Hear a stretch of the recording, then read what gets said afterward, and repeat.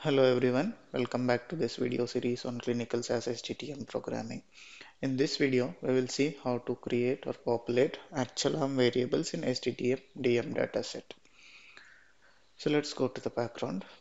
In randomized and blinded clinical trials, the treatment allocated or the treatments corresponding to the arm to which a subject is randomized to is blinded.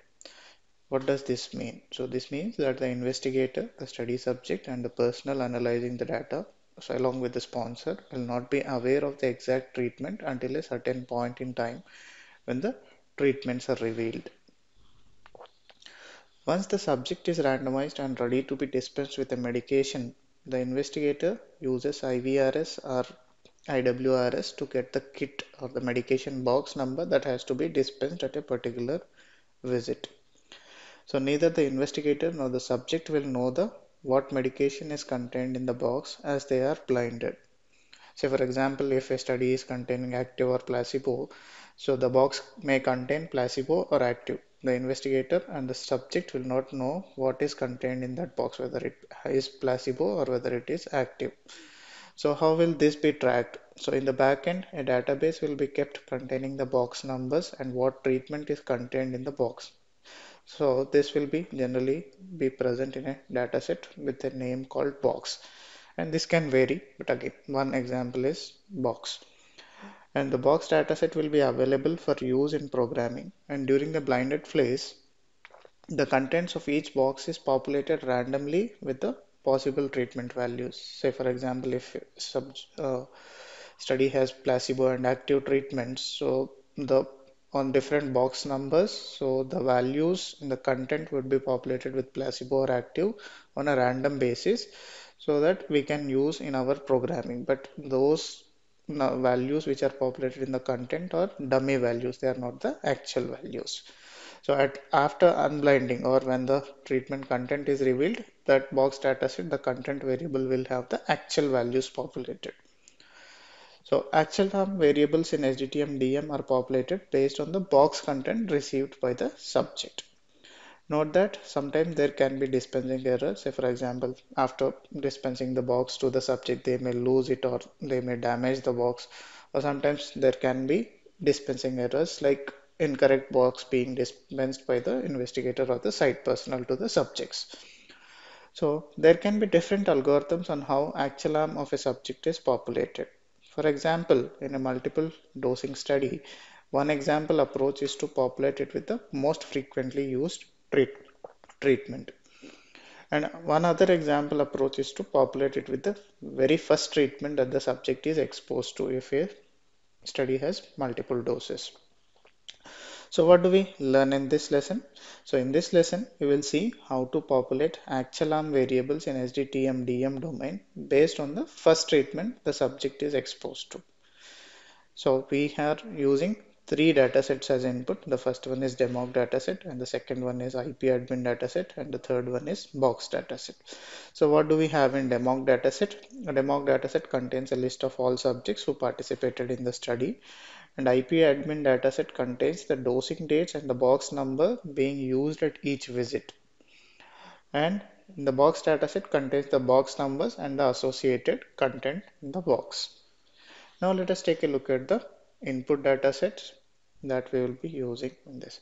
So we have our DEMOG dataset which contains a list of subjects who participated in the study and the second input dataset is IP admin dataset. It contains the list of subjects and the associated dosing date and the kit number that is being used at each visit. So and the third dataset that will be used as input is box dataset. It contains the box numbers and the content which is present in each of the boxes. So now what we need to do is for this example we need to for each subject we need to identify the earliest box ID that is being used and then based on that box ID we need to fetch the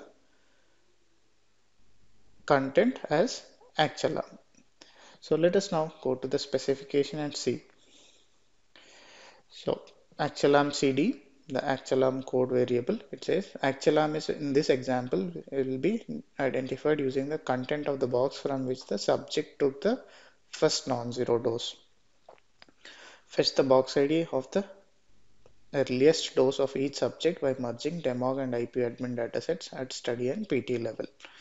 And then actual treatment, the box dot content associated with each box number is present in the box dataset. And then we are being asked to fetch the box dot content associated with the box number of each subject into demog dataset by merging process demog dataset, which contains the IP box ID, which is the earliest IP box ID used by the subject and the box dataset has to be merged at IP box ID in the demog dataset versus box.kit ID. The box number is present in a variable called kit ID in box dataset. It is present in a variable named IP box ID. So we'll have to rename one of those variables and merge these two datasets. And for actualarm, we are being asked to populate it as active in prop case when actualarm CD is equal to active.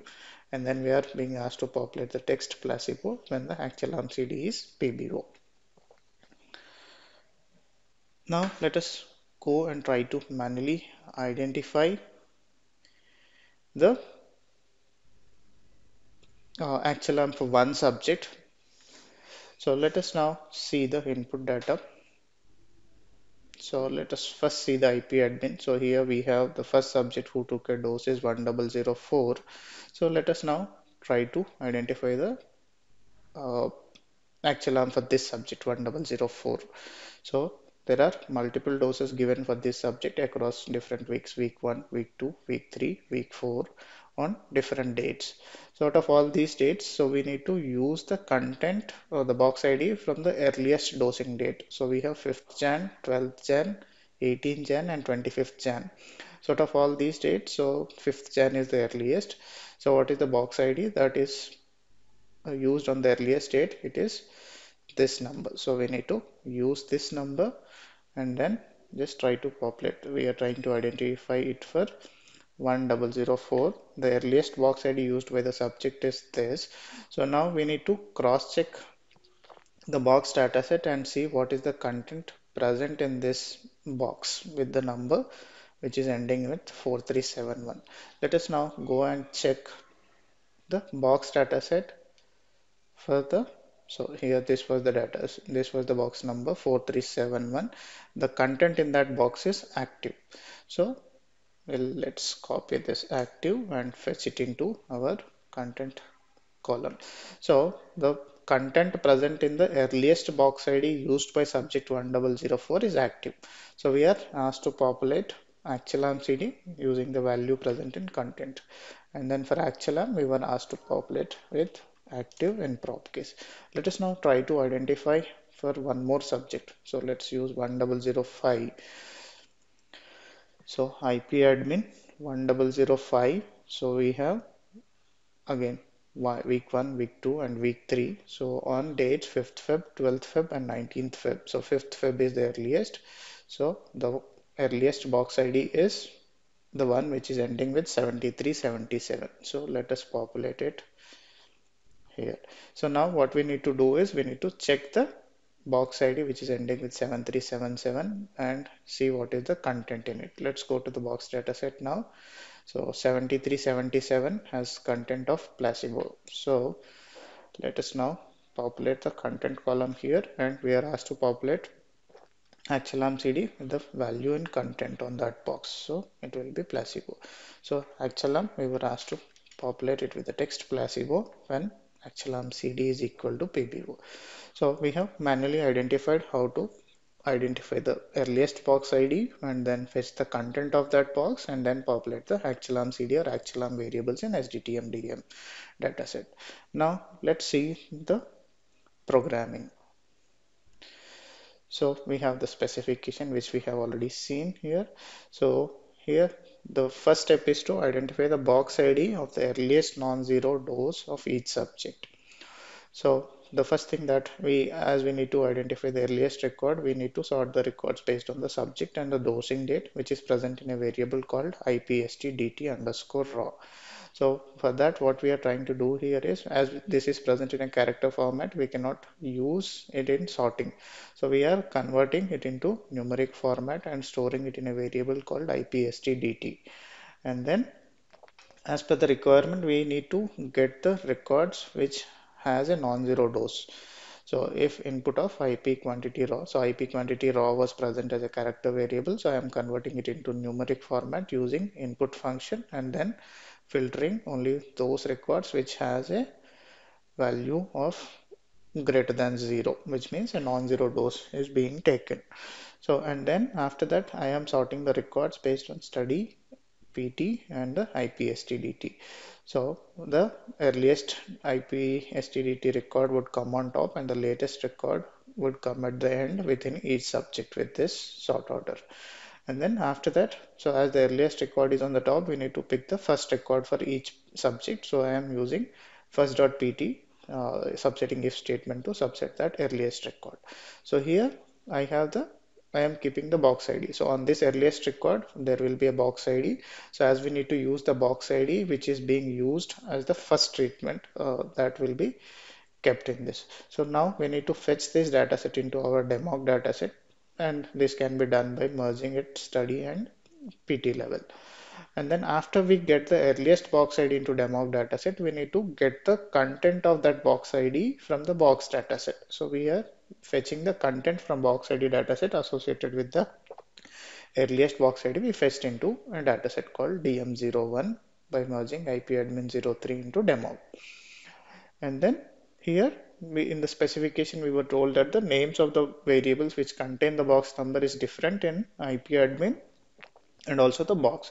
So in box the variable was kit id so what i'm trying to do here in the merge step is trying to rename kit id to ip box id so equivalent to the name which is present in the demog dataset so that we can use it as a by variable so i have merged dm01 and box dataset based on ip box id and then kept all the records which are coming from demog dataset. So there can be other box values which are uh, present across different visits so as we don't need all the box information which is present in box we need only the box IDs which are present in demog so I am using if a. And then I am assigning the variable content to actualarm cd variable. And then using if statements I am assigning actualarm based on the specification which is provided. If actualarm cd is equal to active then actualarm is being assigned with the prop case value of active. And then if actualarm cd is equal to pbo so i am assigning the text placebo to the actualarm variable. So let us take a look at the intermediate datasets that were getting created out of this. So we have our IP admin dataset in which we have created this numeric version of IPSTDT and then we sorted this based on study PT and IPSTDT and then filtered the earliest record for each subject and kept only the required variable study PT and the box ID and then we fetch this IP box ID into our demog dataset. And then by merging it at study and PT level. So now we have the IP box ID and after that we merged this DM01 dataset to our box dataset at study PT no, uh, just IP box ID versus kit ID in the box dataset to get the content variable. So after we got the content variable, we created actualarm CD and also the actualarm variable. So this is how we can create actualarm variable in SDTM domain. So when we were asked to use this kit ID concept and also the concept of using the earliest treatment taken by the subject to populate actualarm variable. So thank you for watching and keep learning.